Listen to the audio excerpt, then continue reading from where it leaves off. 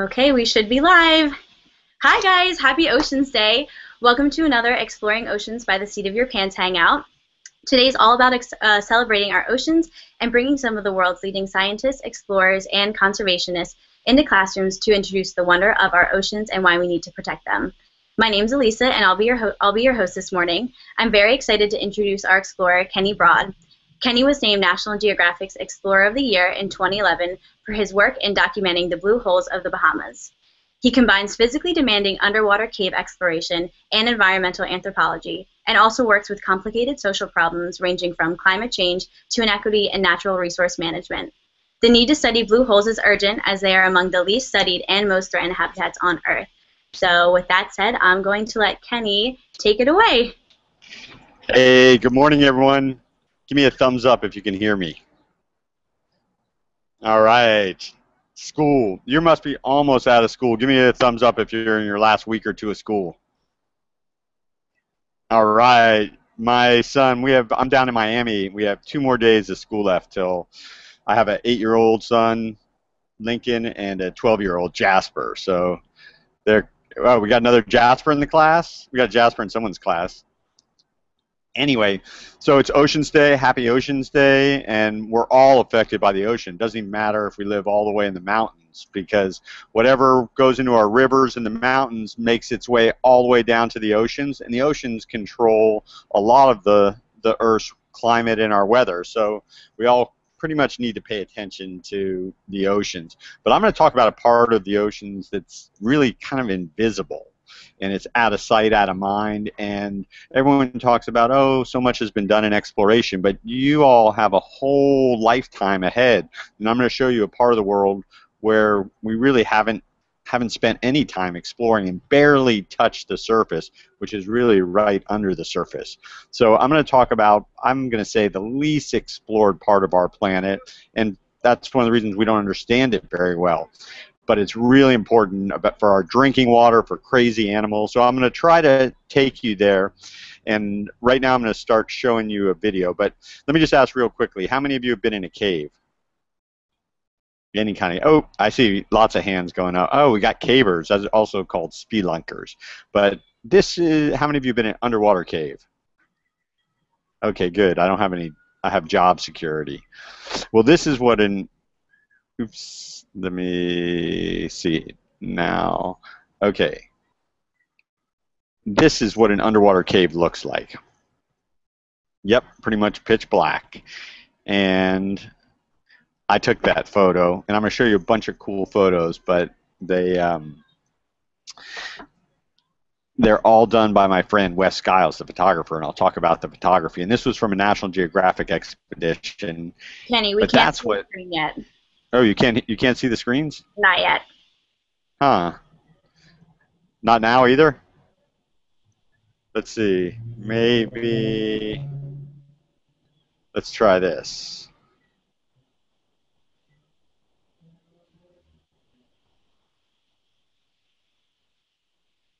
All right. How about anything come up? Yep, we're good now. Okay, I can see you all again. Okay, and if you stop hearing me, because I'll keep talking forever. So if you stop hearing me, you, you interrupt, okay? Okay. All right. Here we let's try it again. So that is what an underwater cave looks like. Beautiful, huh? Now, if you go in without lights or without all the right equipment, that's all you're going to see is the darkest pitch ink black you've ever seen. And actually, I took that picture myself. But I'm going to show you a bunch of beautiful pictures, but and then I'll talk about the photographer, my friend Wes Skiles. But that's what a cave looks like. That's Wes down at 350 feet deep, and two of us dropping down into what's called a blue hole, and that's what they call them in the Bahamas, an underwater cave. And that's what it looks like on the surface. So you have blue holes in the middle of a pine forest. So that's fresh water okay, right on the top because lighter fresh water sits on top of the salt water, and the salt water comes in from the ocean underground. So we think about the ocean and land disconnected, but they actually, near the coast, they're connected.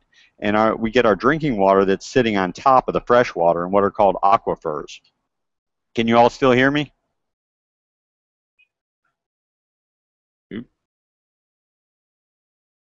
Anyone there? You're good, Kenny. We can hear okay. you. Okay. okay, great. Well, that's what an ocean hole looks like. Okay, so that's the deepest known hole in the world, also in the Bahamas. That's 663 feet deep.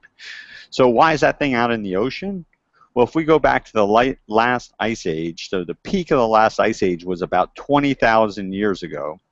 The water level was about 400 feet lower. So this used to be a dry cave. And the water would fall, it would eat away at the limestone, and then when the sea level would rise, the little bit of fresh water would be on top of the salt water, and that would also cause a chemical reaction that makes the caves go miles and miles underground. So you see the hole there, but when you get to the bottom of the hole, or even in the walls, you can start diving into the inland. And you might come up in a hole out in the ocean, but you might come up way far inland.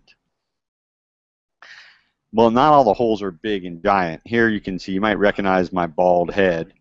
Um, it's a high-tech probing device, but a lot of the holes, they may look beautiful and big, but they actually don't go anywhere. They've been filled in with mud and silt and trees, but then you can find tiny little holes, and they may go miles and miles. So, you know, exploration is sticking your head in sometimes, sticking your head in sometimes, sticking your head in a little further sometimes, and even further. And there's my good dive buddy and a great, great, great explorer, Brian Kakuk, who's explored lots of the Bahamas caves.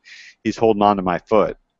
And when my mom sees this picture, she says to me, wait a second, you went to school for how many years to go do that? So just watch out. Going to school a lot can end you up in a, a little hole. But what you find in those holes is amazing.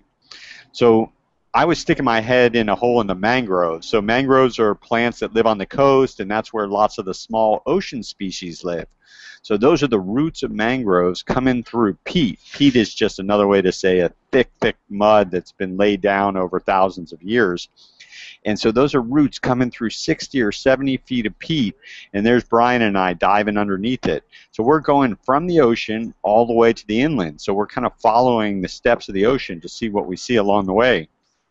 Sometimes we see sharks right at the entrance because you may have studied that sharks have to move to keep water going across their gills and they take the oxygen out of the water. There's dissolved oxygen in that water. Well, there's strong currents in some of the ocean caves, the ocean holes. So the sharks can just lay there peacefully. They don't have to use too much energy. You just kind of lift them up and move them over when you go start your dive and you say, excuse me, going on a dive on your way back out, they might be in the way, and you just kind of say, "Excuse me," kind of lift them out of the way, and they never, never bother you. In fact, sharks are one of the one of the species that we really need to protect because they're important for the marine ecosystem. So for all the life that lives in the ocean. So a lot of us think of sharks as scary, but they're really gentle, gentle creatures unless we really, really bother them. So once we get in there, sometimes it's really small, really tight cave but sometimes it gets really big. So you open up and there I'm swimming through the ice ages, right? I'm swimming up to where the sea level was hundreds of feet lower and I'm coming up through a passageway. And you can see that yellow line. Well, like scuba diving, if you have a problem, you have the whole open surface on top of you. So you can slowly come up and deal with whatever you have to deal with. In a cave, you have to go out the same way, and it may be hours underwater. So you have to carry extra equipment. You carry backup lights. You always run a continuous guideline to the surface you only use a little bit of your diving gas going in, a little bit coming out, and save a lot for emergencies. And you can see on my wrists, there's dive computers that tell me how deep I am, how long I've been down, and also tell me how fast I can come up, whether I have to stop at certain points on the way back up to make sure that the nitrogen that's in my diving gas gets out of my bloodstream. So there's all sorts of neat stuff that goes on in your body, the physiology, and then there's studying the chemistry of the water, the biology of what lives in there, and then of course the rocks themselves, the limestone, the geology can tell us about the past. So I'll show you some of those creatures. But I want to just tell you it's like flying, oops, wrong direction. It's like flying through inner space. And this is just a video now. Sometimes we use scooters so this is a video that Jill Heinerth, one of the great underwater explorers, who I think is going to be part of the Google Hangout today, that's a video that Jill shot when she and I went diving in Florida. So you can see it's almost like flying through outer space, but we're really in inner space. And this is all right beneath our feet. Sometimes there's roads going over these places. There's all sorts of buildings, so it's important to know what's underground because you don't want to build over a hole, especially if it's a dry hole, a dry cave. In a wet cave, the water supports a lot of the weight, the structural integrity of the cave, as the engineers would say it.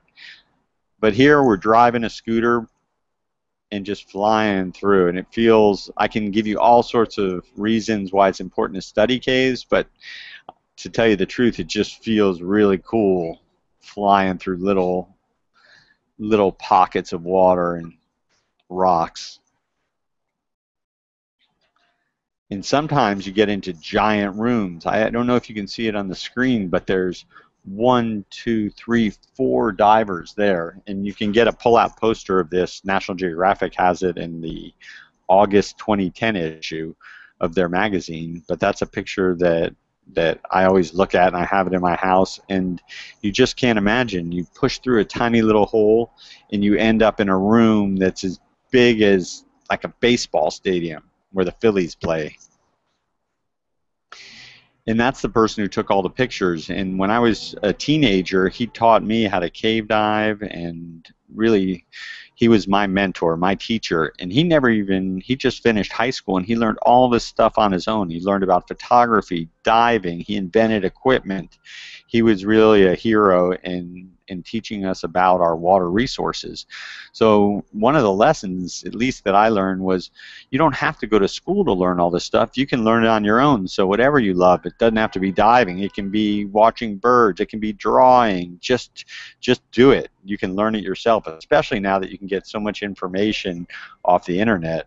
So that's Wes Skiles, and he actually passed away right when the magazine came out on the newsstands in a diving accident. So part of exploration also has its dangerous side. Oops, sorry, traffic's loud. And remember, all these pictures you're seeing, it's hard enough to go in some of these places, but imagine doing it with a big camera and lights. So whenever you see pictures or a television show, imagine there's a whole film crew. And Wes was leading that film crew. And you can see how big the video cameras are that I'm carrying there.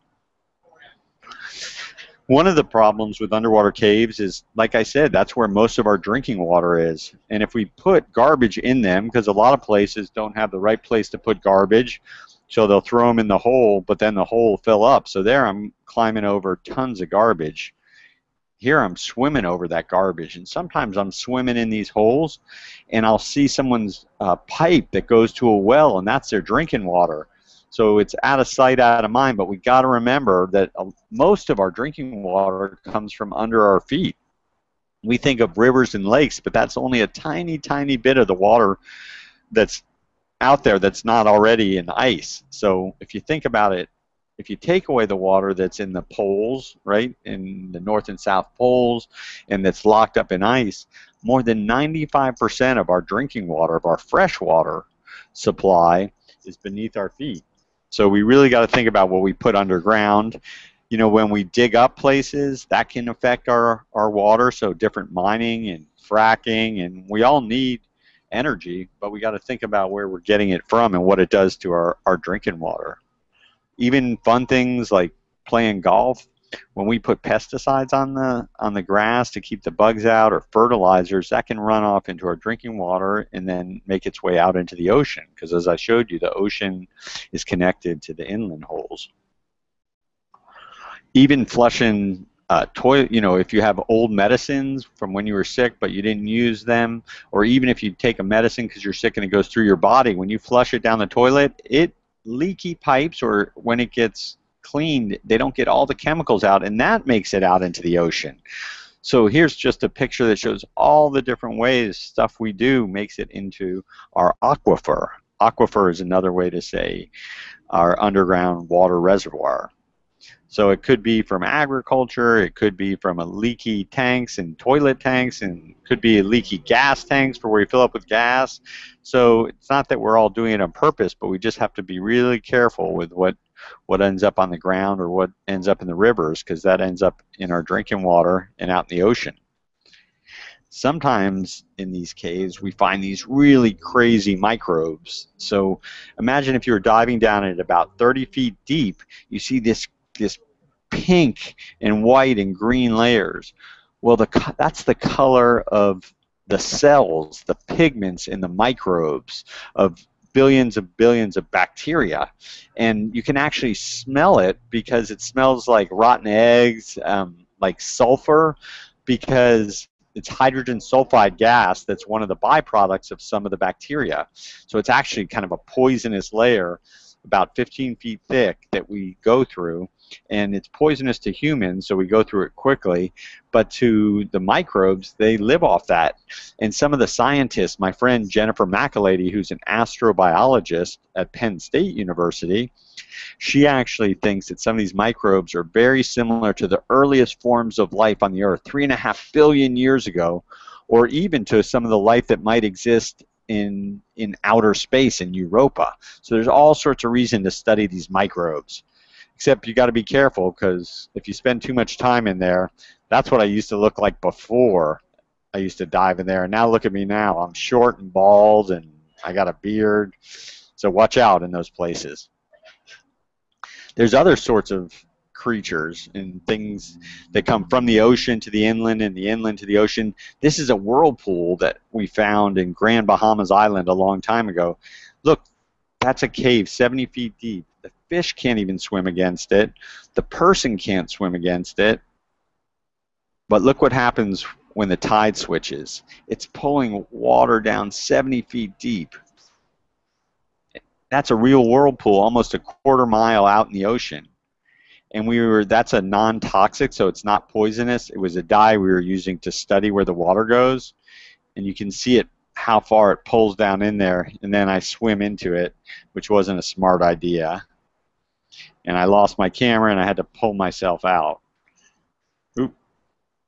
And luckily, I didn't panic. So always remember, even if you're taking a test or if you're stressed out about something, always stop, try to relax yourself because you want to keep your, your breath down, your heart rate down, and that will keep your mind working. So I hate taking tests, so I always have to take a few, close my eyes and take a breath before tests.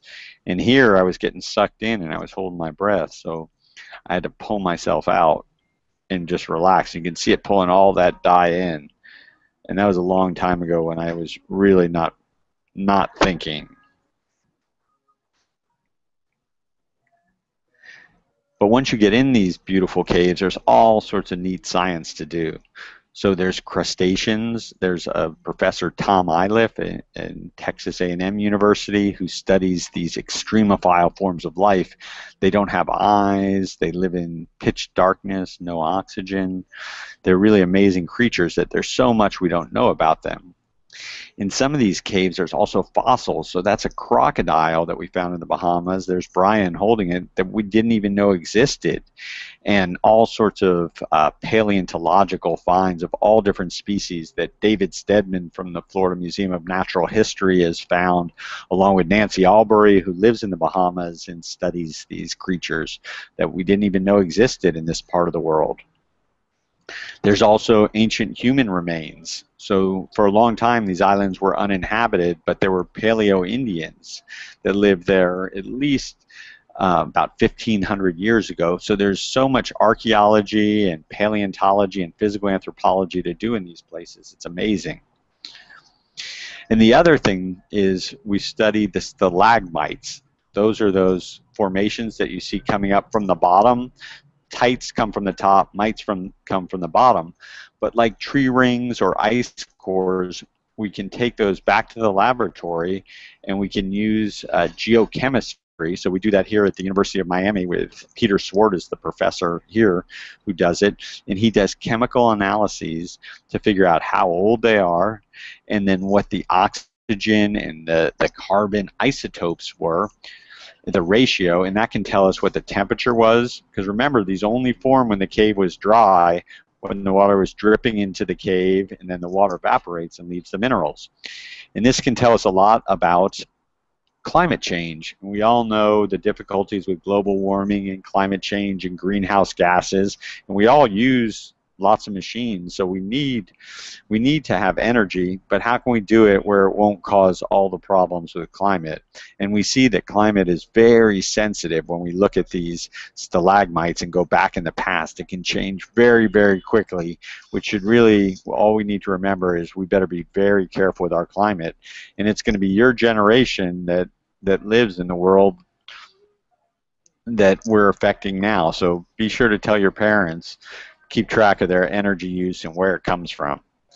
So let me show one more video before I sign off and we can ask some questions. So this is going through that poisonous hydrogen sulfide layer and we're taking a plastic bin because we're actually going to collect some fossils. And here we're just swimming through the drinking water. So this is actually in Florida where I live, where almost all our drinking water comes from groundwater. And some of it, when we take samples, we have to go in narrow, narrow places where we keep our tanks on our side. We usually don't wear those full face masks, so uh, we were just trying them. They don't work too well in caves. But look, there's whole rivers underground. It's pushing sand in, in it's almost like the Amazon runs underneath our feet in Florida. And we're you know pulling out a lot, a lot of that water for big agriculture and other uses, and it's slowing down. When it slows down, you can have algae building up in it. So we, it's really a fragile ecosystem that we don't pay as much attention to because we don't see it every day like we do the rivers and the streams. And once you get through some of these tiny places, you end up in in a whole another kind of room and beautiful, beautiful cave formations. And you can find creatures that have been unchanged for 200 million years, extremophile forms of life, because they can live in these extreme conditions. So it's extreme exploration to find extremely interesting things. And there's Wes with his camera.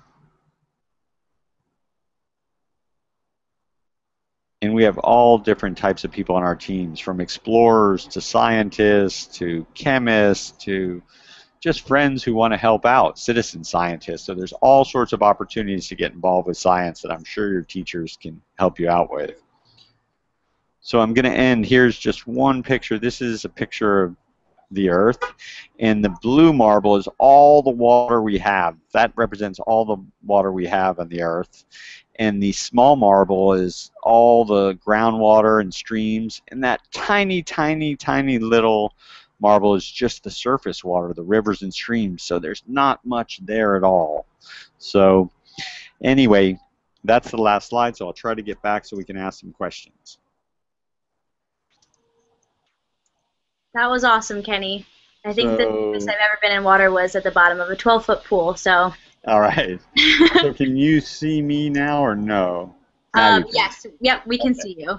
Okay. Do we have time for questions? Yeah, we absolutely have. We'll have time for one class to ask every question, or um, every class asks one question. Okay, so we're going to start with Mrs. John's class. Um, they are grade 7 and 8 from Philadelphia. So, Miss John's class, you should be unmuted now. Can you guys say hey? All right. Hey, gang. Okay. You guys can go ahead and ask your question for Kenny.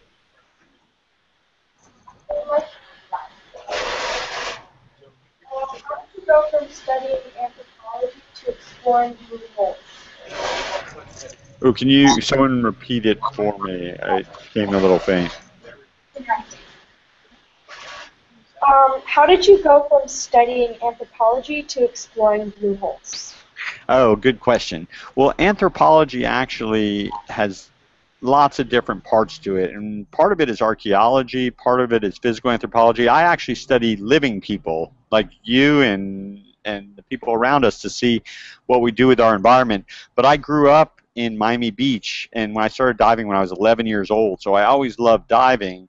And then once I learned there was science that you could do underwater, that helped me go back to school. So for a long time, I just worked as a diver, and I worked for a lot of scientists, and I learned a lot. But I wanted to run my own expedition, so I went back to study anthropology because I don't just like bones, I like the people who can talk.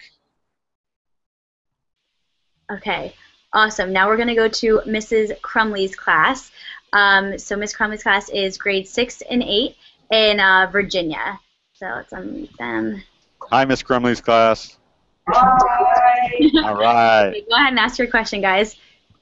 Do you ever get scared when you go into the pool? Yeah, do I ever get scared? I get scared thinking about stuff, and so I don't do it. I try not to wait till it's too late.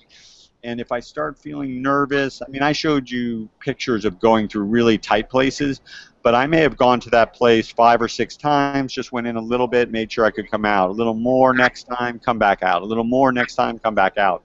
So you, you try not to do things that being a little bit nervous, a little scared is good because it keeps you aware and you don't want to you don't want to get uh, lazy in what you're doing.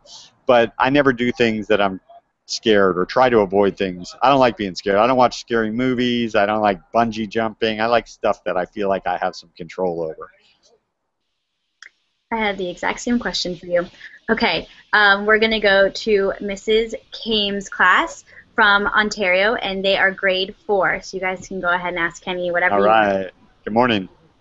Good morning. Hi. What's the deepest blue hole you've been in? So the deepest one I was ever in was that one I showed you that's 663 feet deep. So that's like over 200 meters. I don't know if you all are on meters or feet, but um, I haven't gone to the bottom of it. But we want to go to the bottom with it with a special suit that we wear. It's almost like a bubble. You can go all the way down and all the way up. So we're planning on going there hopefully this year. But I've been, I think, about 400 feet deep. So that's about the deepest I ever gone diving.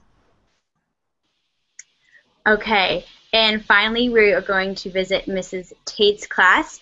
Um, so they're grade 1 and 2, and they are also from Canada. All right, Mrs. Tate's class. What kind of sharks do you have to move? Oh, that's a great question. Well, there's different kinds of sharks that we see in the Caribbean and in the Bahamas. So sometimes it's a nurse shark. Sometimes they call them sand tiger sharks. Um, the other kinds of sharks that we see in that area are bull sharks and hammerhead sharks and all different types. But the ones I've seen mostly sleeping in the caves are nurse sharks. But you can see all different types. And out in the ocean, there's blacktip sharks and reef sharks and um, mako sharks out in the bluer ocean. So I love seeing sharks, and they've never, never bothered me. Shoot. Yes. Oop, is it loud? I, I'm at an outdoor place, so I don't know if it's too loud for you all. Someone just No, sneezed no behind worries. me. Um, so Kenny, before we leave, do you guys do you have any closing thoughts for the classrooms today, or um, have any ideas to get everyone inspired and excited about our oceans? Hey, all you have to do is follow what you like doing, and you'll find a path to do it. And it doesn't have to be taking chances, taking risk. It just has to be caring about something, and it could be caring about other people. It can be caring about caring about the environment. But as long as you're passionate about what you're doing and take care of each other, we'll all be in good shape. So I can't wait to go diving with you all one day. Thank you so much, Kenny, and for the classrooms that joined us today, and everyone that's watching. Um, keep an eye out for the rest of the day uh, for the rest of the World Oceans Day Hangouts. Um, and that's all the time we have. So thanks for tuning in. Thank you all so much. Bye bye. Thank you.